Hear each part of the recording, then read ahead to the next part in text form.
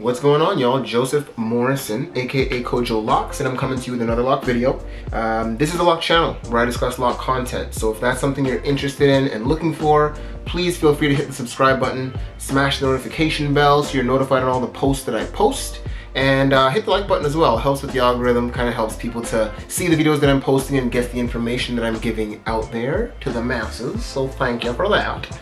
Uh, but for today's video, I actually wanted to talk about something that kind of hit me the other day that I was I was just kind of hanging out on the couch relaxing. Wasn't doing anything too special or anything and I, I it just hit me. I was like, wait a minute. I've never talked about my loctician. And you know, my loctician is somebody who's really helped me out and, and really been a big part of my lock journey and the start of my lock journey. And obviously she continues to help me even still on my lock journey. And and you know locticians in general are a staple to many people's lock journeys. And there's a lot of good that can come from working with a loctician.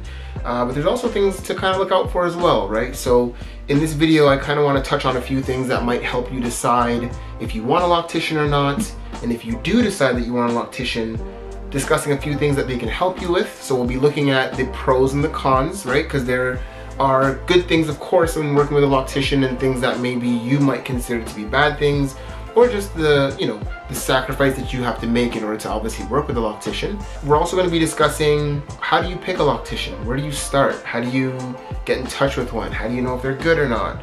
Um, you know, just the process of kind of finding a loctician and, and how, to, how to find a loctician or a good loctician that is.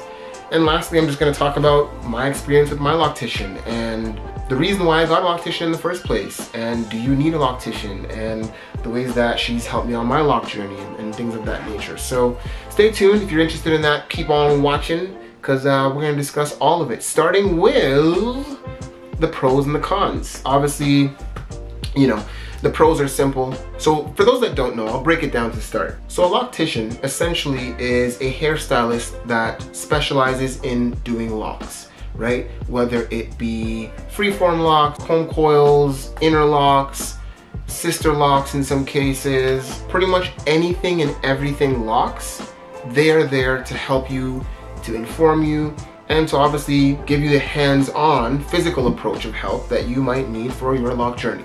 So they're, you know, they're really helpful and they can do a lot of good things, but there are things about locticians that maybe you need to look out for and this isn't every loctician. So we'll get into our pros and our cons a little bit and talk about those. So obviously some of the pros in working with a loctician is they can teach you things about your hair that you don't know. Things like, or they can even identify things about your hair that you wouldn't even think about. Things like your hair texture and why it's important to know what your hair texture is. In thinking about your hair texture, what lock start or what style of lock start should you go with? Should you go with interlocks? Should you go with comb coils? Um, you know, what style is best for your hair type. In terms of the locks that you want, they're gonna help you to know how thick your locks should look.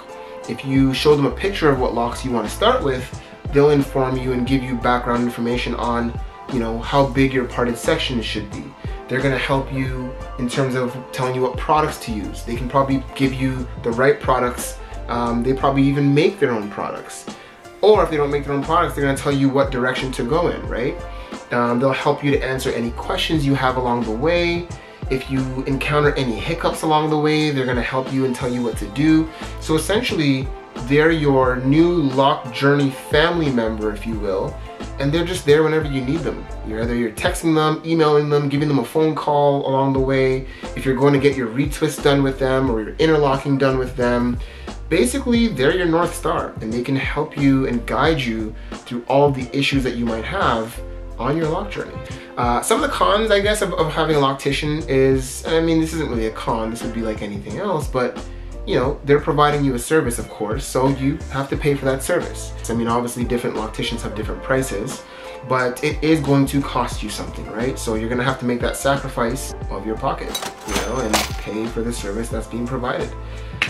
As far as cons, honestly, that's it, really. I mean, you're just paying for the service, but that's obvious because you pay for any other service that you use and you receive that service. So I don't consider it to be a con, but depending on what your financial situation is, that might be a con to you, right?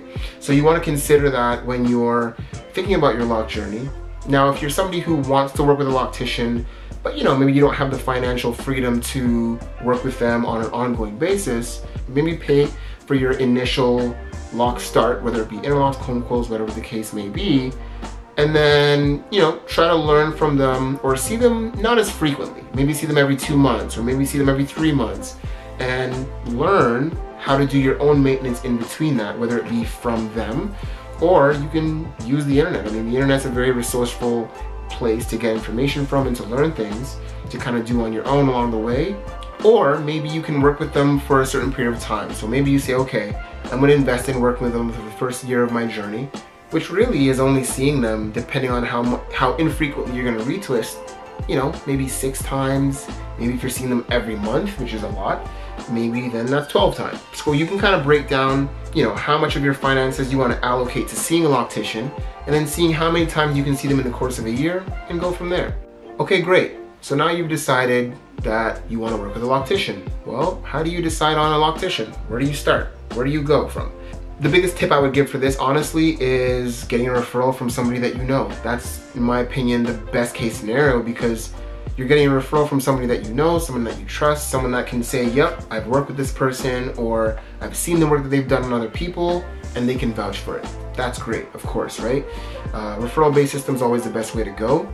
But if that's not something that you have the resource of or maybe you don't know anyone else that has locks, then you want to go online with it, well, maybe try going with Instagram to start. And the good thing about Instagram is you're able to see the work that they do. You can see comments, from some people that they work with and getting real life feedback from those people who work with this loctician and you know hearing about their testimonials the good news the bad news. So you're really getting to see the work that they've done and from there the proof's in the pudding right?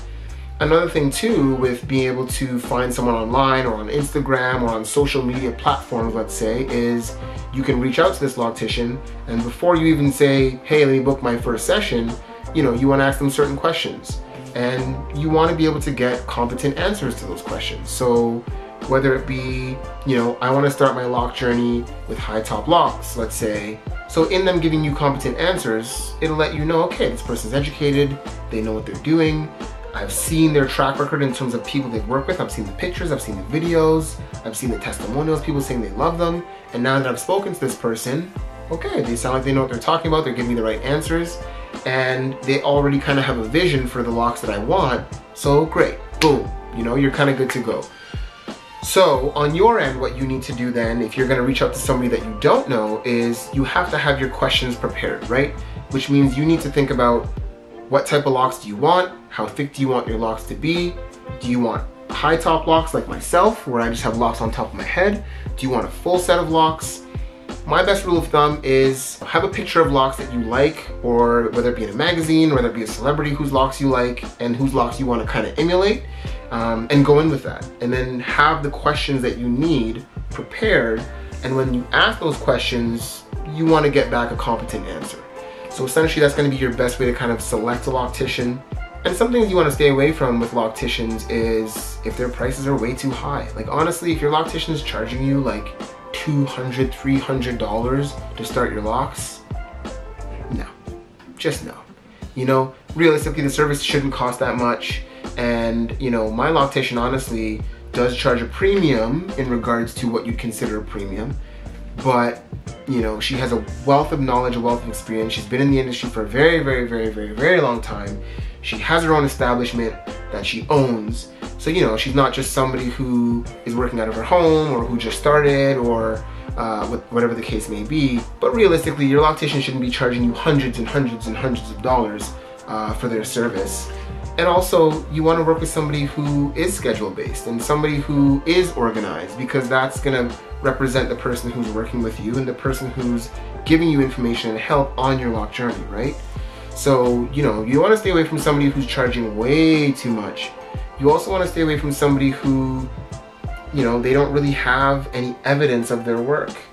Now, I'm not saying that every loctician should have an Instagram page that you can refer to, but if you do ask them, hey, you know, can I see some of your work? Or where can I find people who have worked with you to get feedback? they should be able to point you in the right direction or say, yeah, sure, I'll reach out to some of my clients and see if they can have a conversation with you or whatever the case may be. Honestly, in my opinion, I think they should have some place where you can actually see photographic and video evidence of the work that they've done if you don't get a referral from somebody. Because yeah, you know, there is somebody's auntie who just, you know, has her own place and she doesn't have no Instagram or no internet or nothing like that, but she's been doing it for years for everybody in the neighborhood and everybody knows about her. You know what I mean? So I'm not saying everyone has to have a website and all that kind of stuff. I'm just saying you want to at least have a referral or you want to be able to see evidence of this stranger that you do not know and the work that they can do, right? Because at the end of the day, if this person is starting your lock journey, you want to make sure they can start it correctly and, and help you in the right way, right? You don't want to start your lock journey and they're giving you bad advice or telling you the wrong products to use and then six months into your journey, you got problems. You don't want that, right? And we'll go into my last topic, which is just essentially why did I start my journey with a loctician? Now, honestly, the main reason for me was I did do a lot of research on it, but I just wanted the support to know from a professional that I'm doing the right thing and to give me a lot of feedback in terms of maybe things that I'm not thinking about. And honestly, it was the best thing I could have done. Like she told me about hair texture. I didn't really think about that she told me about the fact that I should probably start with interlocks because the comb coils really aren't gonna be the best for my hair texture. And honestly, I didn't take her advice at first, did comb coils, and she was right. You know, wasted three months of my time, pretty much. Where I wasted three months of my time, you know, trying to be adamant about doing the comb coils, and it just didn't work out for my hair. And I could have probably been more gentle with my hair in terms of the washing process or whatnot, but I just found that for me, you know, I would have had to wait way too long to wash my hair. And at that point, I'd have too much buildup, and now I'm starting my locks on a dirty foundation. So, you know, she kind of eased me into understanding that the interlocking method, although it's not what I preferred, was actually better for me. So, you know, she was really able to help me and guide me in that way. And along the way, whenever I had issues or whenever I had uh, any thoughts to products that I wanted to start using, I would run it by her and just to get her feedback, you know, and I would still do my own due diligence on top of that and do my research and, and um, you know, me working in the health industry, which I do. I kind of know a few things about, you know, what products are good and what products are not, but it was just good to kind of have that extra resource um, to kind of help you out on the process. And that's one of the benefits of having a loctician. And just knowing that when you go to get your retwist or your interlock, you don't have to worry about it. They're professional, they're gonna take care of you. And what I loved was they're able to give you feedback every time you come back, you know, like if your hair is growing slow or, which is something you probably can't help, but maybe it is. Maybe you're eating a certain way that's kind of not, or it's kind of stunting your hair growth. Um, or if she's seeing certain things in your hair, she can just let you know that, or she can kind of inform you on how the process is going. So one thing for me right now that I bring up all the time, if you've been following my channel, you'll know, it's my tips, right? Like my tips, they're just taking a long time to lock, and she just kind of gives me that helpful feedback of just saying, you know, just that reassurance of like, they are locking up, it's just gonna take time, and for someone with my hair texture, it just takes a little bit longer. So, you know, just kind of hearing it from her, is reassuring and just kind of makes you feel like, all right, we're good. So all in all, I would honestly recommend working with a professional loctician. I think that they're great. I think if you have the financial means to do it, do it. Unless you're somebody who kind of wants to do this whole process on your own and do your own research and go through it that way, I think that's dope too. I think do that.